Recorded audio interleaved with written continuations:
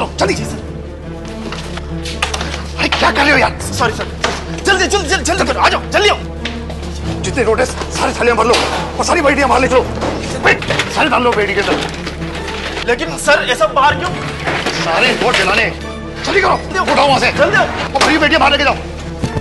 देखो सर अलमारी को चेक करो। वो भरी बेटियाँ बाहर लेके जाना। वहाँ से निकालो। हाँ।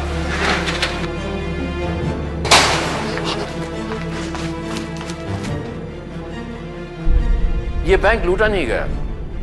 इस डर से कि हिंदुस्तानी नोट चीनियों के हाथ ना पड़ जाएँ, बैंक मैनेजर ने पूरी करेंसी पूरे नोट मंगवाकर जला दिए। हाँ, डालो डालो जल्दी करो। बेटी के सारे नोट निकाल के डाल दो उसमें।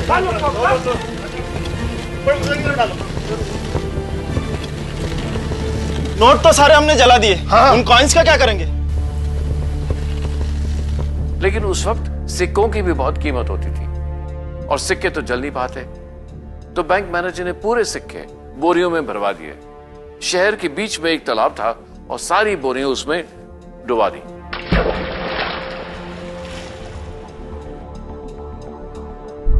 नवंबर उन्नीस सौ बासठ, ये जो आपने देखा वो तो तेजपुर शहर की एक ही मिसाल है। वहाँ और क्या हुआ? वहाँ के लोगों ने क्या देखा? उन्होंने क्या भुगता? ये अब आप उन्हीं के मुँह से सुनिए। उस टाइम में चाय बागान के अंदर में मैनेजर था, हमने सुना कि वो लोग जो हैं यहाँ फुटिल्स में मिसमारी के पास में फुटिल्स हैं, वहाँ पर आ गए हैं। फिर उस टाइम में ऐसा लगा कि भाई अब यहाँ पर शायद रहना सेफ़ नहीं हो सकता है। तो उस वक़्त फिर हम लोग जो हैं यहाँ से रात में इकट्ठे होकर सवेरे मॉर्निंग में यहाँ से हम लोगों को ले जाया गया। रास्ते में रोका पुला वो कहाँ जा रहे हैं? हमने कहा, हम तो तेजपुर जा रहे हैं। बोले, नहीं नहीं, तेजपुर मत जाइए, हम लोग तो तेजपुर से वापस आ रहे हैं। वहाँ तो चाइनीज़ आने वाले हैं। पता लगा कि भाई यहाँ एडमिनिस्ट्रेशन नहीं है कोई भी। एसपी डीसी सब यहाँ से छोड़ के चले गए हैं। स्टेट बैंक का पता लगा स्टेट बैंक से सुना ऐसा कि भाई उन्होंने नोट वगैरह जो थे करेंसी वो जला दी है। तेजपुर में ये सब इसलिए हो रहा था क्योंकि लोगों को चीन की फौज का डर था। यहाँ के बाशिंदों को लग रहा था कि किसी भी वक्त उनके शहर पर चीन का कब्जा हो जाएगा। 20 अक्टूबर उन्नीस सौ बासठ से ही भारत और चीन के बीच युद्ध चल रहा था। और इसी दौरान प्रधानमंत्री नेहरू के एक ऐसे भाषण को लोगों ने सुना, जिससे उनका डर और भी पक्का हो गया। ऐसा लगने लगा कि तेजपुर शहर ही नहीं, बल्कि पूरे नॉर्थ ईस्ट पर ही चीन का कब्जा हो सकता है। इस वक्त कुछ असम के ऊपर, असम के दरवाजे पे दुश्मन है। और असम खतरे में है। इसलिए खास तौर से हमारा दिल जाता है, हमारे भाइयों बहनों पर जो असम में रहते हैं, उनकी हमदर्दी में, क्योंकि उनको तकलीफ़ उठानी पड़ रही है और शायद और भी तकलीफ़ उठानी पड़े। हम उनकी पूरी मदद करने की कोशिश करेंगे और करेंगे, लेकिन कितने ही हम मदद करें, हम उनको तकलीफ़ से नहीं बचा देंगे। और असम खतरे में है। इसलिए खास तौर से हमारा जिस तकलीफ़ की चर्चा प्रधानमंत्री नेहरू कर रहे थे वो सिर्फ़ असम के लोगों की ही नहीं थी। पूरा देश उन्नीस सौ बासठ में चीन से हुए हमले का दर्द झेल रहा था। इसकी शुरुआत हुई 19-20 अक्टूबर उन्नीस सौ बासठ की दरमियानी रात। इसी रात चीन ने भारत पर हमला किया। 20 तारीख के सुबह स्टैंड टू होता है साढ़े चार, पौने पाँच के बीच में। हम लोग स्टैंड टू के लिए उठे, बाहर निकले अपने ट्रेंचेस बंकर से। उसी वक्त शेलिंग शुरू हुआ। पहला शेल गिरा हुआ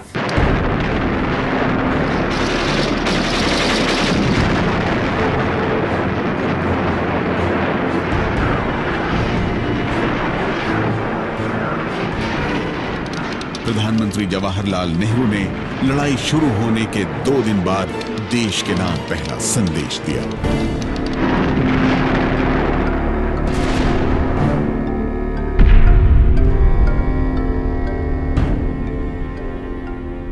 भाइयों बहनों, साथियों और हम वतनों, हमारे सीमा पर ज़बरदस्त हमले चीनी फौजों ने किए हैं और करते जाते हैं, जहाँ के एक बहुत ताकतवर दुश्मन, जिसको ज़रा फ़िक्र न शांति की थी, न शांति के तरीक़ों की, उसने हमें धमकी दी और उस धमकी पर अमल भी किया।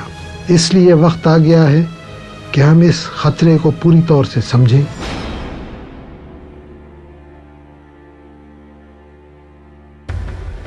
आज़ादी को सिर्फ़ पंद्रह साल हुए थे।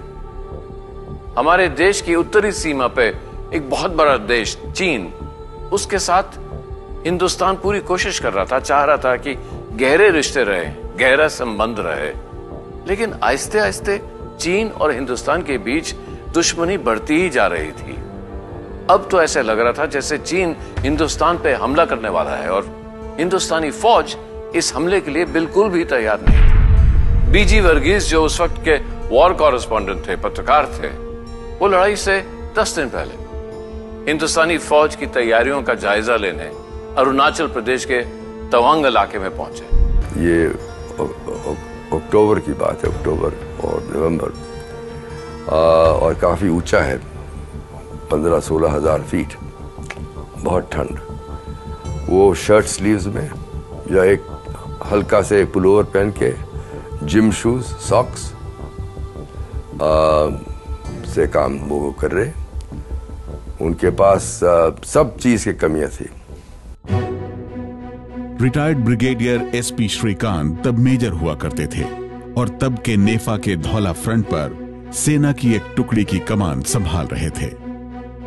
हम जब तवांग में थे हम लोग जब बेनेट ट्रेनिंग करते थे ना सुबह जब डमी बनाते हैं उसमें हम घोंपते हैं वो उसमें हम लोग ने चाइनीज़ का बनाया था। शक्ल, ताकि अभी लोग को ये पता लग जाए, इनको मारना है, चाहे कुछ हो जाए। मगर हुक्म आ गया कि नहीं, ये बंद करिए, ऐसा नहीं हो सकता। है अभी हम लोग हिंदी चीनी भाई भाई हैं। अब भाई भाई के सिलसिले में हम उसी में चक्कर में रह गए। मेजर श्रीकांत को भारत चीन लड़ाई में वीरता के लिए महावीर चक्र से सम्मानित किया गया।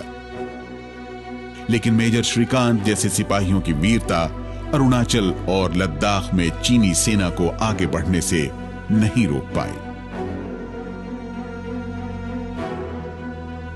दुख तो बहुत होता है। रेट्रोस्पेक्ट में हम कहते हैं कि लड़ाई हुई नहीं। ऐसे लड़ाई थोड़ी होता है। और प्लानिंग इस पर मेरे में था ही नहीं। वो उसी वक्त वो रेखी के लिए गए थे। ब्रिगेड कमांडर और बटालियन कमांडर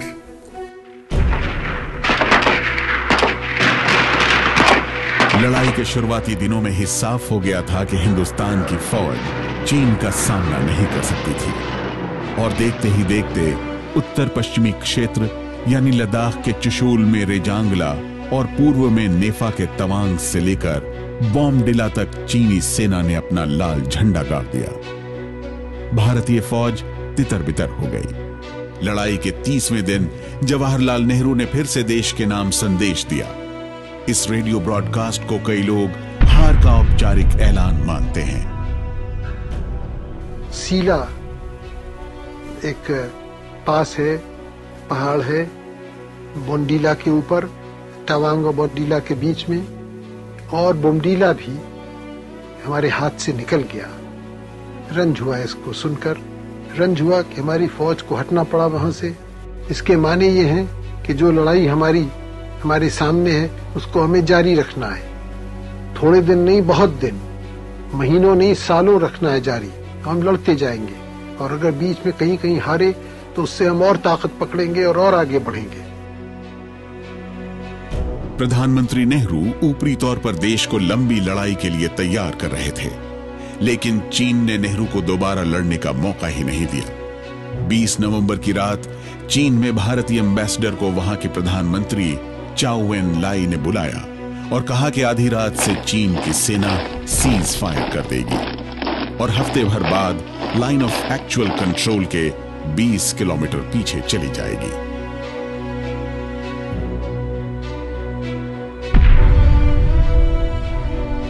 चीन के एक तरफा ऐलान के साथ ही लड़ाई खत्म हो गई। युद्ध तो खत्म हो गया, लेकिन उसका घाव हमेशा के लिए रह गया। एक महीने तक चले इस युद्ध में भारत बहुत कुछ गंवा चुका था।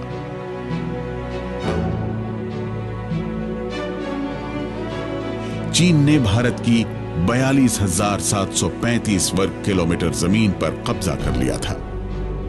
ये इतनी ज़मीन थी जिस पर देश की राजधानी दिल्ली जैसे 28 शहर बस सकते थे। भारतीय सेना के एक हज़ार तीन सौ तिरासी सैनिक शहीद हुए थे और एक सैनिक बुरी तरह घायल हुए।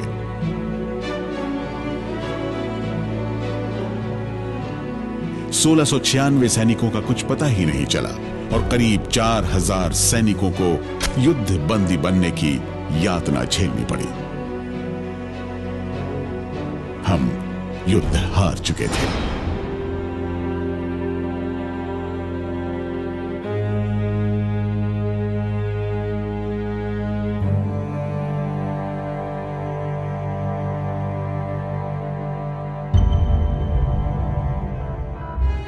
चीन के साथ लड़ाई को 50 साल हो गए।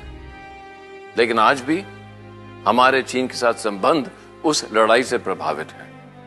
आज भी चीन और हमारे बीच के बॉर्डर में छोटी छोटी लड़ाइयाँ होती रहती हैं। सवाल यही नहीं है कि ये लड़ाई हम हारे क्यों? सवाल ये भी है कि ये लड़ाई हुई क्यों? क्या लड़ाई के बगैर कोई फैसला नहीं हो सकता था? क्या लड़ाई ज़रूरी थी?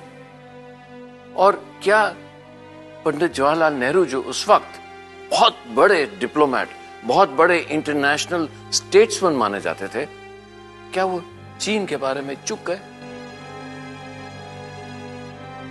चीन से लड़ाई में हार या लड़ाई की असल वजह क्या है? इन दोनों ही बातों के तह तक जाने के लिए साल 1950 की घटनाओं को समझना होगा। दोनों देशों का मौजूदा इतिहास कमोबेश एक साथ ही शुरू होता है। भारत 1947 में आज़ाद हुआ और उसके दो साल बाद ही चीन में माओ से तुंग और चाउ एन लाए के नेतृत्व में लंबे संघर्ष के बाद पीपल्स रिपब्लिक ऑफ़ चाइना के नाम से एक साम्यवादी देश बना। दोनों देशों का मौजूदा सफ़र एक साथ ही शुरू हुआ। वी रिकॉग्नाइज दियर गवर्नमेंट हमने चीन की हिमायत की। चीन